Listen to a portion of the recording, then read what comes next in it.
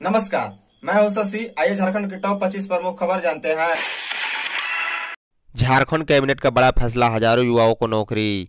राज्य में बड़े पैमाने पर होने वाली बहालियों का रास्ता साफ़ हो गया है। बता दें, शुक्रवार को प्रोजेक्ट भवन में हुई कैबिनेट की बैठक में चौदह नियुक्ति नियमावली में संशोधन की स्वीकृति मिल गई।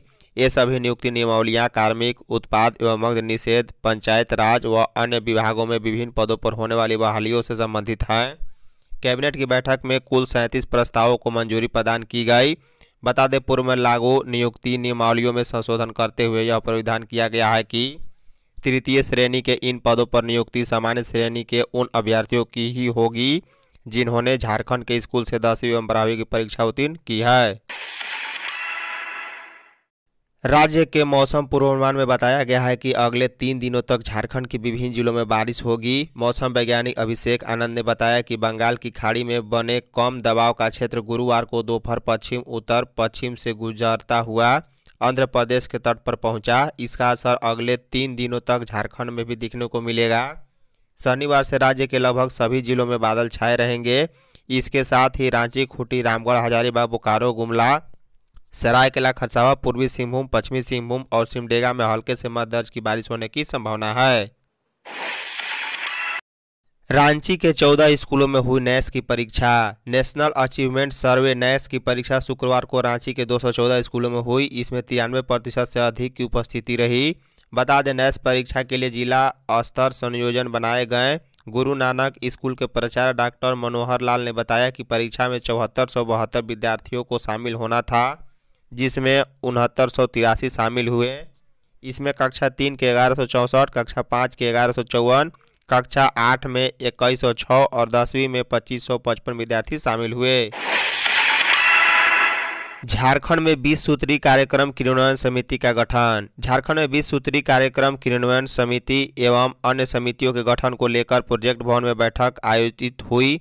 इस बैठक में मुख्यमंत्री हेमंत सोरेन को फार्मूले की कॉपी भी सौंपी गई। इस बैठक में सीएम श्री सोरेन के अलावा मंत्री चंपई सोरेन, मंत्री आलमगीर आलम, मंत्री बना गुप्ता, मंत्री सत्यानंद भोक्ता, झारखंड कांग्रेस के अध्यक्ष राजेश ठाकुर एवं जेएमएम के महासचिव विनोद कुमार पांडे मौजूद थे।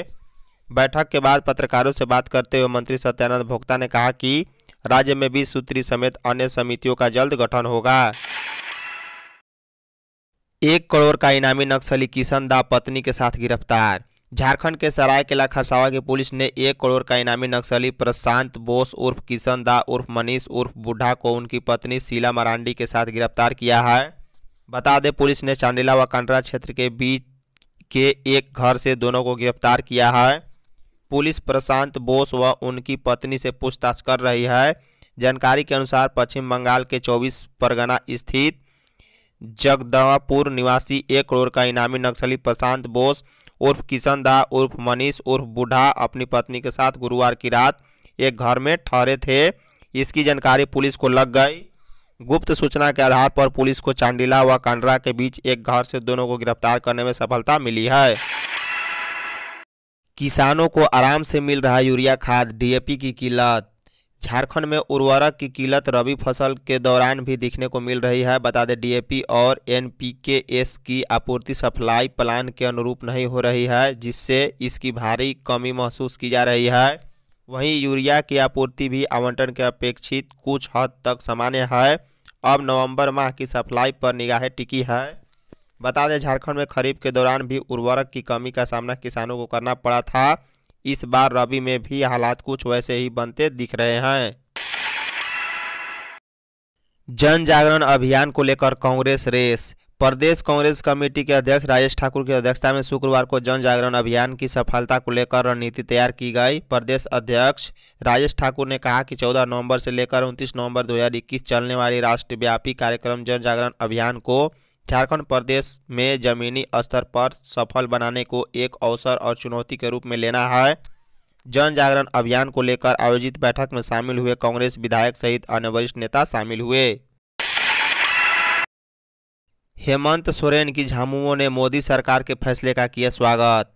देश भर में 15 नवंबर को जनजातीय गौरव दिवस के रूप में मनाए जाने के केंद्र सरकार के निर्णय का झारखंड मुक्ति मोर्चा ने आलोचना के साथ स्वागत किया। बता दें, झामुमो के केंद्रीय महासचिव सुप्रियो भट्टाचार्य ने शुक्रवार को संवाददाता सम्मेलन में केंद्र सरकार पर निशाना साधा।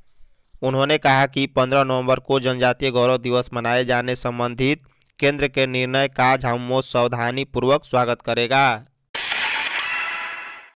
झारखंड को मिला पहला प्राइवेट मेडिकल कॉलेज। झारखंड के पलामू ज़िले के विश्रामपुर में स्थित Lakshmi Chandravanshi medical college and hospital राज्य का पहला निजी मेडिकल कॉलेज बन गया है। नेशनल मेडिकल काउंसिल ने 100 सीटों पर नामांकन के लिए लक्ष्मी चंद्रवंशी मेडिकल कॉलेज को मान्यता दे दी है। बता दें, इस कॉलेज का निर्माण विश्रामपुर विधायक और पूर्व स्वास्थ्य मंत्री रामचंद्र चंद्रवंशी के द्वारा कराया गया है। विधायक रामचंद्र चंद्रवंशी ने कहा कि उनका सपना था कि उनकी माँ के नाम पर एक मेडिकल कॉलेज हो। यह सपना आखिरकार पूरा हो गया।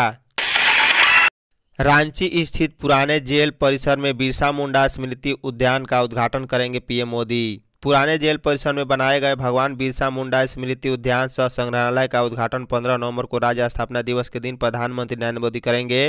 बता दें, ऑनलाइन उद्घाटन कार्यक्रम में प्रधानमंत्री वीडियो कॉन्फ्रेंसिंग के माध्यम से जुड़ेंगे। प्रधानमंत्री कार्यालय द्वारा इसकी अनौपचारिक पुष्टि कर दी गई है। मुख्यमंत्री हेमंत सोरेन भी समारोह में शामिल होंगे। उद्यान सह संग्रहालय की कुल लागत 142 करोड़ रुपए है। इसमें से 117 करोड़ रुपए राज्य सरकार ने खर्च किया है। धन्यवाद।